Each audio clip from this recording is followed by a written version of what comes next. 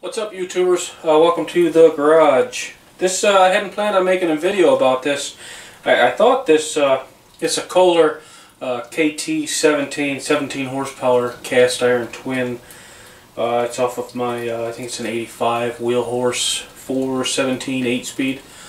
I hadn't planned on rebuilding this thing. I thought it was just needing a valve job. It's burning a lot of oil. Um, I'm thinking valve seals, valve guides maybe worn, uh, valve stems, I don't know what, but uh, you know, really runs, ran uh, really, really good, so I didn't think it needed a whole rebuild. It's got about 1,800 hours on it, so I figured it had probably been rebuilt before. Uh, that's a lot of hours.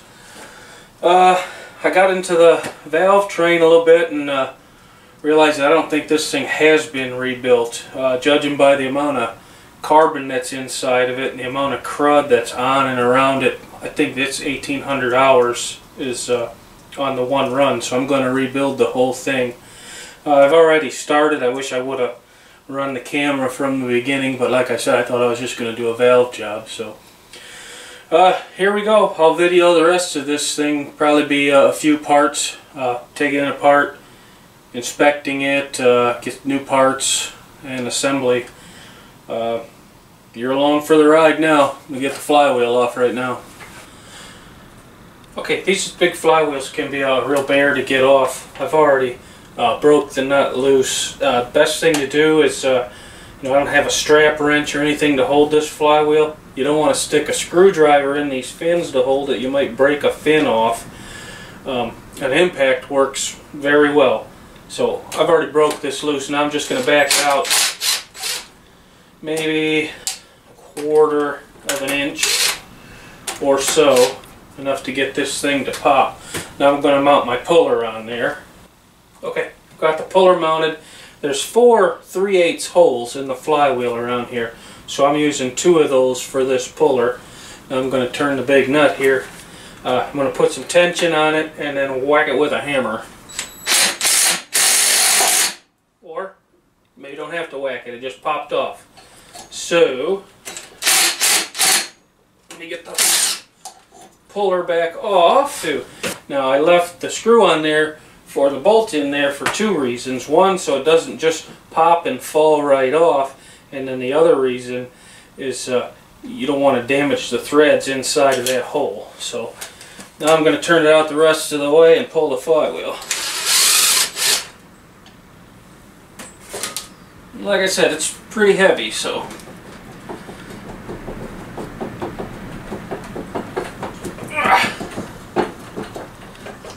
It goes. Set that down. Now we'll get this uh, stator out of here. Okay, stator is held by these four 5 16 screws right here. I wouldn't recommend using the uh, impact on these. They're pretty darn small. They will just break. Okay, that gets the stator off. Okay, uh, I decided to pull all this uh, mess of wiring, the stator, points condenser, all off at the same time. So, see. Starting up here, you've got just the one bolt that holds the condenser on.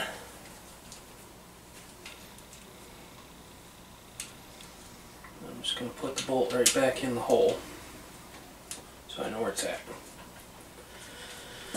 Pulling this all off as one unit is just going to make it easier when I put it back together. There's nothing to figure out then. Two screws hold the points on.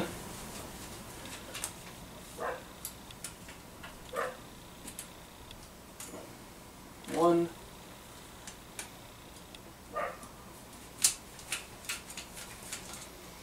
two. And then I will, actually I'm going to just bag those screws up. That's something else I need to show you is how I'm bagging and tagging everything. So now all the wiring just stays together and then I'll, uh, I'll probably rewire it all. I don't know when I put it back together. But that's got those parts off now. Here's what I was talking about bagging and tagging. I just labeled it stator and points and put the screws in there and then I've got a a shelf over here that I throw everything on. That's just my way of keeping track of everything. You can find your own way, I'm sure, but that's how I do it. That uh, pin pushes the points open and close, so it can go in the bag. Okay, next is the fuel pump, and there's just two Phillips screws up underneath here. Okay, that's both of those. And then note that uh, this one had a Loctite on it. I assume the other one probably did as well. So just something to note. There's the fuel pump. I'm going to put it in the bag. Okay, next we're going to pull this uh, other jug off. This is jug number one, jug number two on the other side. And the way you can tell that is jug number one is closer to the flywheel, which would be right here. So everything that comes out of here is getting labeled one and two. Just so you know. So you've got six bolts, or nuts rather, around this thing. And they're all set in there behind the jug where you can't get a ratchet or anything. Uh, you know, you can use this as an offset wrench. It's for a distributor. I guess that'll work to break them loose, but it's still just a hand tool. It's not going to help you out much. A regular uh, half inch wrench fits everywhere in there and they'll break right loose. So put a little PB blaster on them, break them loose, and then they turn right out by hand. Okay, there's the sixth one. So the jug will usually just uh, come out pretty easy. And then I just try to catch the piston as it pulls out.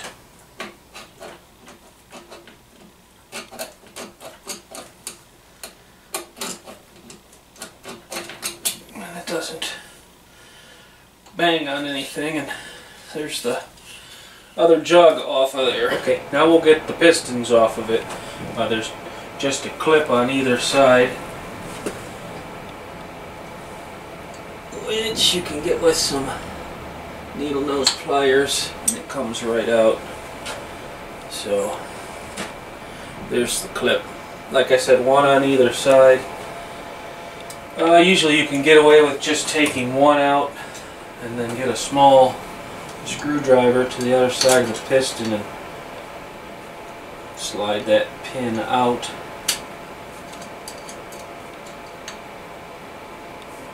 Usually, not today. You gotta be careful because you don't want to scratch the, the bore inside of that piston either.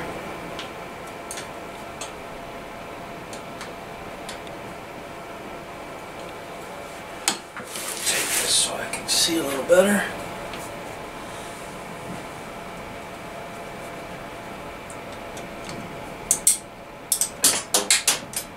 And that one went flying, which they'll do, but that's okay because we're going to replace those anyways. Kohler wants them to be changed with the rebuild. Okay, and then there's the piston is out of there. Looks really good too. So I'll get the other one out and then we'll get the closing plate off. Okay, closing plate is fairly simple. Just a bunch of half inch bolts around the face of it. Alright, with all of the bolts removed, should pry off fairly easily. Should.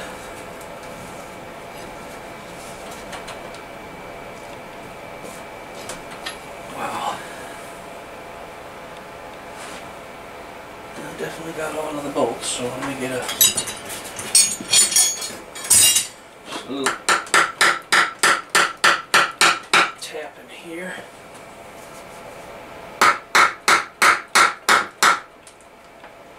It does not want to loosen up like that at all. Okay, it took a, quite a bit of loving, but it's loose.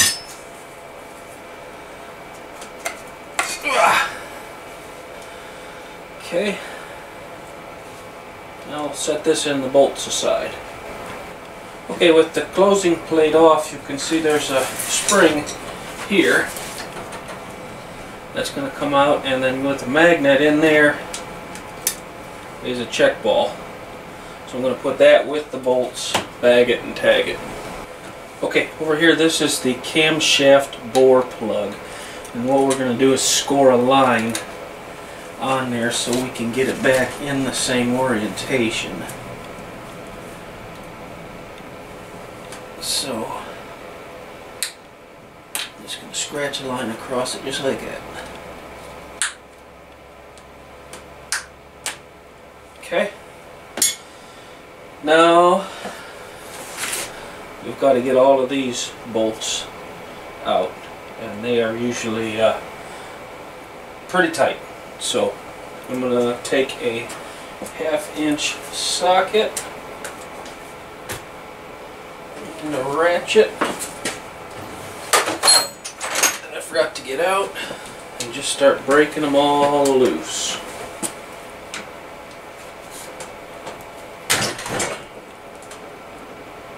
Get a deep well. Well, get a couple over here anyways. So get them all broke loose. Take them all all of the way out and once I get to that point we'll come back here. Okay, I counted 13 bolts and two nuts so far. I think that's all of them. Now what I'm going to do on the number one cylinder, I'm just going to put a zip tie around the tappets. No, no, no, no. Number two cylinder, I'm on the wrong side. Number two.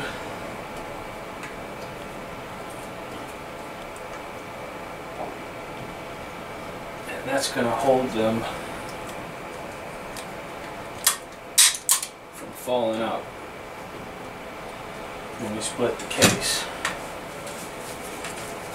Now you're going to want to lay it down with the number two side up.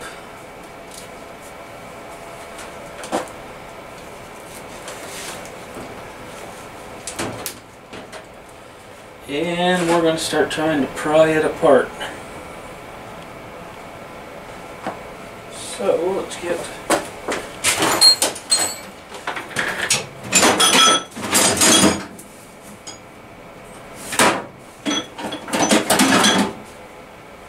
a decent looking pry bar.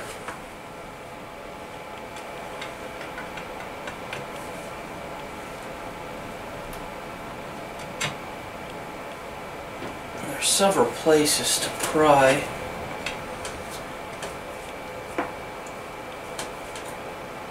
There we go. Okay. Need some place to pry over here. Let's try a screwdriver there. And it's coming fairly easily here. Really don't give you many places to pry. There we go. It's hard to spot all of the locations.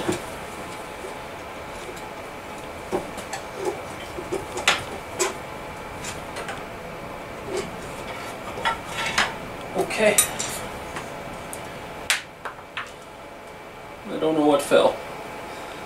Hopefully nothing important, right? Okay, cam plug is in there still. Okay. So, there's that case half. I'm gonna set it over here. Now we can lift the cam out. There you go. I'm gonna set it over here.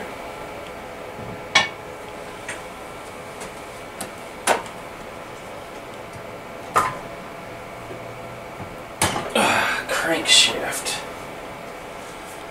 So this has got sleeve bearings here.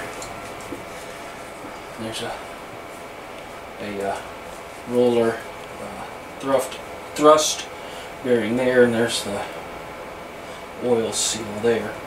So we'll just set this aside now.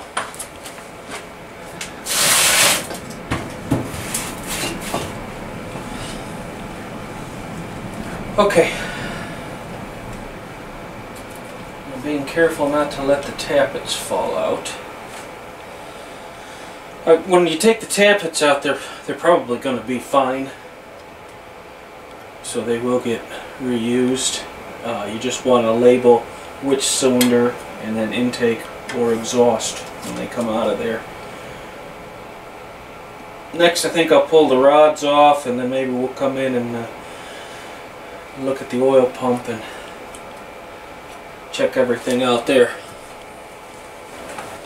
Okay, a couple of things before we pull the rods off. They have match marks here.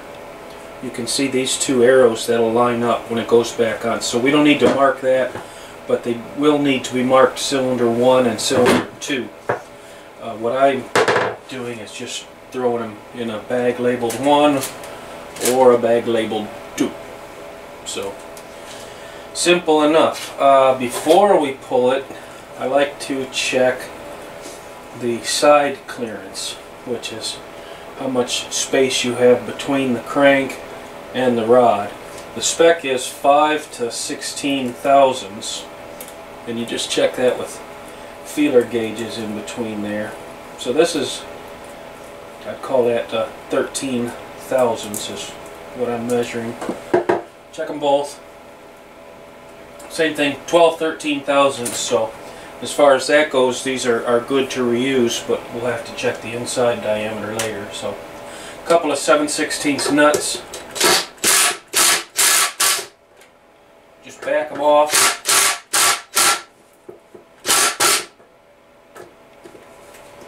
Right about the end of the stud like that because we're probably going to have to no, never mind Usually you have to tap these with a hammer to get them to come apart. These are coming right apart though, so. Two nuts off. Gently remove that. Cap back on just like it came off.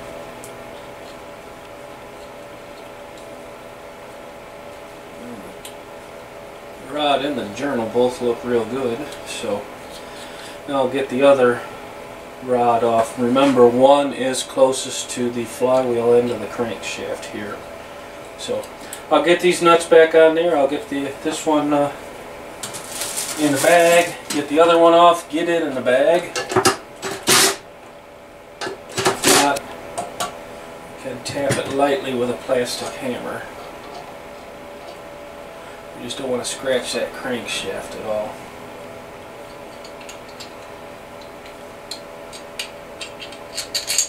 Rod cap back on there and there again you can see there are the, the match marks so. Put a couple nuts on here. Throw it in my bag labeled 2 okay I think we're going to conclude part 1 right there. I'm going to get some oil on these journals. Um, I want to oil up the, the camshaft lobes real nice, uh, keep them from rusting, oil the cylinders. Any of the uh, bare metal precision machined parts, you just want to get some oil on it. Uh, it will rust up very, very quickly. So I think we'll end part one right there. Like I said, uh, we'll come back, uh, I'll do some cleanup, and we'll start inspecting everything and go from there.